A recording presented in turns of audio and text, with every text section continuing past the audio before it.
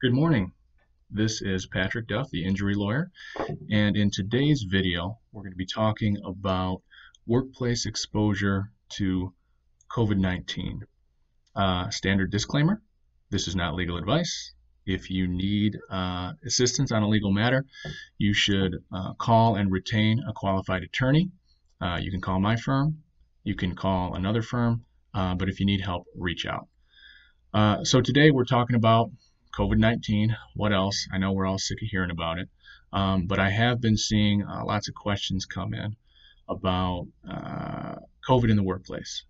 Um, do I have to go into the office? What happens if I'm exposed at work? Uh, what sort of safety measures does my employer have to take? Can I get unemployment if I'm afraid to go in and refuse to? Um, there are executive orders, and there's a plethora of them that have come down um, and it seems like they change week to week. But they cover a lot of those issues. And so if you need legal help on one of those issues, call an attorney uh, because it's hard to keep track of these things. It's hard to sort them out. Uh, but there are lots of executive orders that have been issued that covered those sorts of things.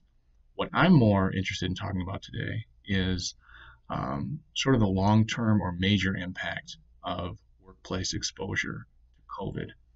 Uh, specifically, what happens when somebody gets really sick from COVID or has long term chronic issues from COVID or passes away from COVID. And we know that the exposure happened in the workplace. Well, under Michigan law, the Michigan Workers' Disability Compensation Act provides coverage for that. There's a section of the Act that provides coverage for um, disabilities, death, medical coverage for occupational diseases. And if you're exposed at work, that's an occupational disease. The problem that we have is how does somebody who gets sick at work prove that they caught it at work? I mean, we're in the middle of a nationwide pandemic right now.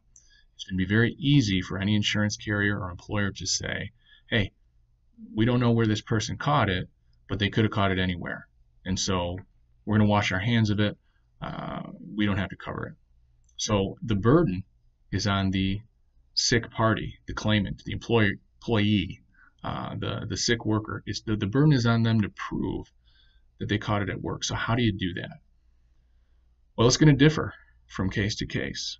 If you've got evidence that a coworker uh, had COVID and you were in the office or the workplace or the job site the same time that they were, and that's been documented, then you're well on your way. If, on the other hand, there's a bunch of Facebook pictures floating around or Instagram photos floating around of you going out to bars and restaurants and hanging out on the patio and not wearing a mask, well, that's going to cut the other way. And it's going to be very easy for somebody to claim that you didn't get it there.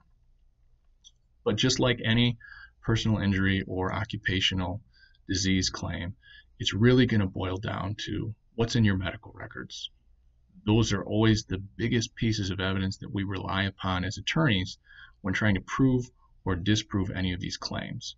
So, what are you telling your doctor? Um, or what, if you lost a loved one, unfortunately, what were they telling their doctor when they went in?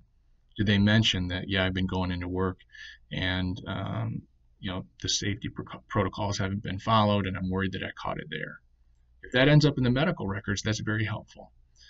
And then if you end up claiming a long term chronic health issue as a result of COVID exposure, because we are seeing people that are developing long term chronic health issues as a result of this, are you following with your primary doctor um, on, a, on a weekly or monthly basis for this issue? And do those records indicate that this chronic condition was related to COVID, which may have been uh, related to a workplace exposure to COVID?